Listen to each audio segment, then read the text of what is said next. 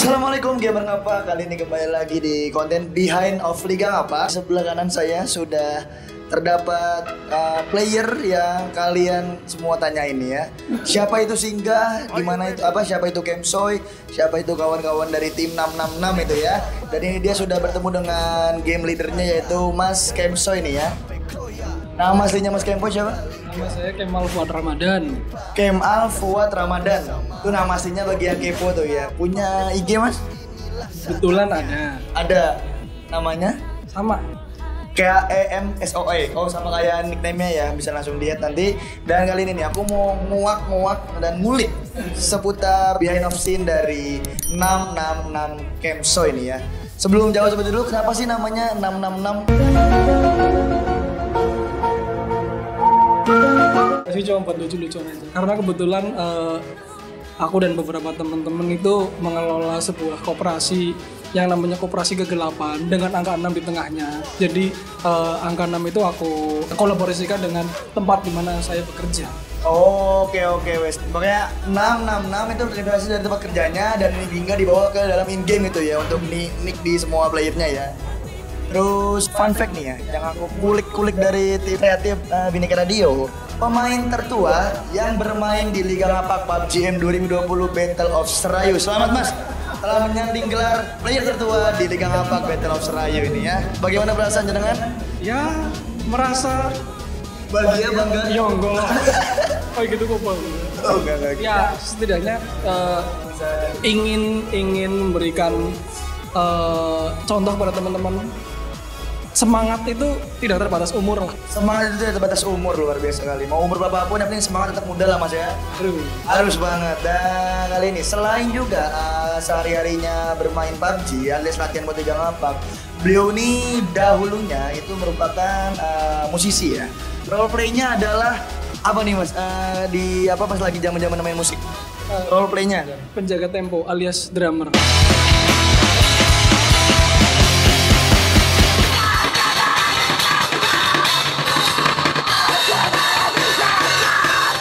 Penjaga tempo alias drummer. Kalau di PUBG support lah ya. Betul. Support ya. Saya buri, saya apa ngawasin semua playernya nih ya. makanya kalau main di PUBG itu sebagai tim support karena udah kayak apa sih bawaan bawaan inilah Dari band bawaan kebiasaan ya bawaan kebiasaan dari band sebelumnya itu ya dari uh, maksudnya dari dulu pernah terjun di dunia musik ya iya sampai sekarang masih sebetulnya oh masih sebenarnya masih sampai sekarang berarti banyak banget kegiatan jenengan ya Eh, karena aku nggak bisa diem aja sih jadinya. Ya banyak melakukan aktivitas lah.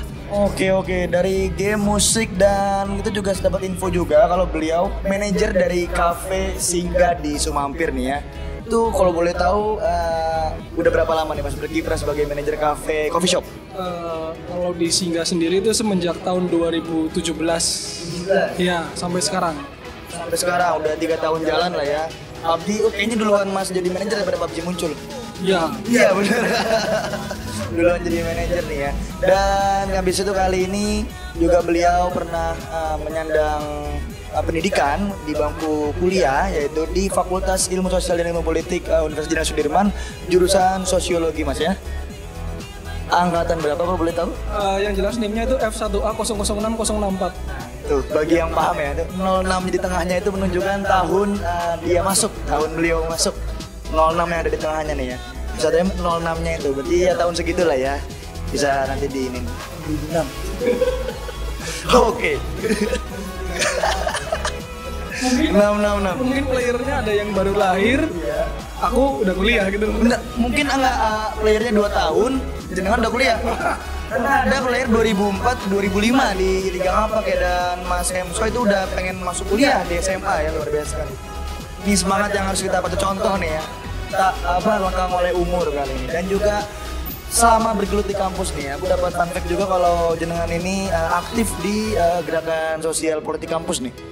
Ya kebetulan sih karena eh, namanya juga kampus FISIP ya. Visip ya. kampus yang isinya orang-orang protes orang-orang demo. Mau nggak mau ke bawah sih. Ke bawah ke bawah. Akhirnya masuk di mana maksudnya uh, sampai terjun ke gerakan sosial apa sampai apa cuma di politik kampus doang di dalam? Uh, sebelum bergerak di kampus memang uh, sudah aktif di luar kampus dulu sebetulnya. Karena begitu masuk FISIP terus itu semakin diolah semakin diasah akhirnya uh, jangkauan gerakan aktivisme sosialnya jadi lebih luas lagi. Dan ada nggak sih mas momen? Ini kan maksudnya lifetime paling panjang lah ya menyandang gelar tertua di uh, Liga Ngapak PUBG Battle of Serayu momen paling mas inget atau kenang atau unik sepanjang masih hidup sampai hari ini. Mungkin bisa diceritain atau diungkapkan? Jadi ada beberapa momen-momen lucu sih ya.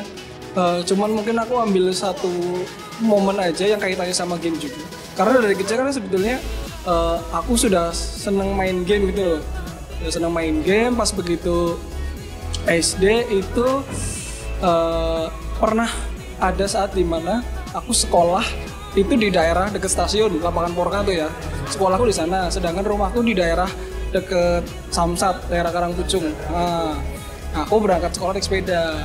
Pulangnya uh, karena sedang keranjingan game arcade mode uh, uh, arcade kalau istilahnya itu dingdong ya. Dingdong. Itu di Ratu sekarang jadi S hardware nah, di lantai 4 itu ada arena dingdong. Pulang sekolah aku main ke sana dengan bermodal seribu rupiah uang koin. Nah itu aku bisa main sampai jam setengah delapan malam. Dari jam? Dari jam setengah dua. Nah itu nggak sadar karena di dalam ruangan tinggi tertutup nggak ngelihat jam tahu-tahu udah setengah delapan. Anak SD kelas 3 panik. Loh kok aku main terus sampai jam setengah 8 malam? Udah pulang naik sepeda kondisi rumah udah kosong.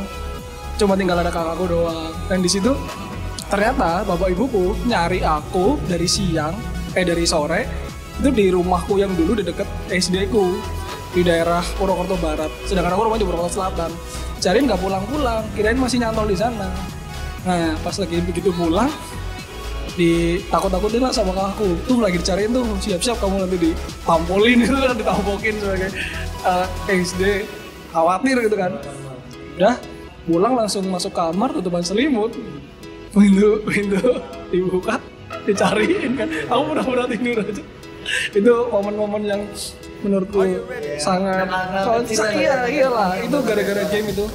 Uh, makanya begitu SMP itu uh, kilaf lah. Eh kilaf. Sorry sorry insaf maksudnya.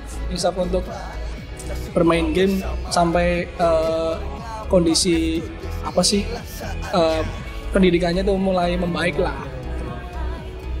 itu momen kecil yang teringat sampai sekarang lah ya yang kayak kenakalan di game yang akhirnya sekarang sampai ke bawah sekarang nih ya. Uh, sekarang sih ya ibaratnya karena udah nggak nggak ada tanggung jawab ke orang tua jadi ya udahlah suka suka. Nggak tahu jawab tapi kalau masalah tanggung jawab ada ke Bose main di sela ini bisa ceritain apa enggak? Ya jadi ke bawah gitu loh maksudnya nyambung gitu loh. ya gue sempat apa namanya di awal-awal uh, PUBG keluar sempat ditegur sama owner main game di jam kerja karena kebetulan apa namanya uh, job deskku yang paling santai gitu.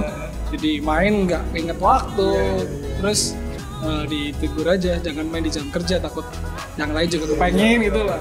Dan ke bawah ini nyambung ya oke dan itu tadi kesan dan terakhir nih mas terakhir banget. Makanan favorit dari seorang Kemal Kemsoy ah, sayur asam sama sambal terasi dan tempe goreng itu udah nice. Simple ya simple. Dan itu dia momen uh, kebersamaan aku dengan bersama 666 Kensoy player dari Singa uh, yang juga Singa itu nama dari uh, sebuah cafe coffee shop di Sumampir. Dan kawan-kawan yang mau main monggo. Dan kita akan tunggu lagi di momen behind di Gang Ampak di player-player lainnya momen lainnya. Dan terima kasih Mas Kensoy sudah menyempatkan waktunya untuk memberikan konten ini dan sampai jumpa di Gang Ampak dan maju terus di sport Ampak.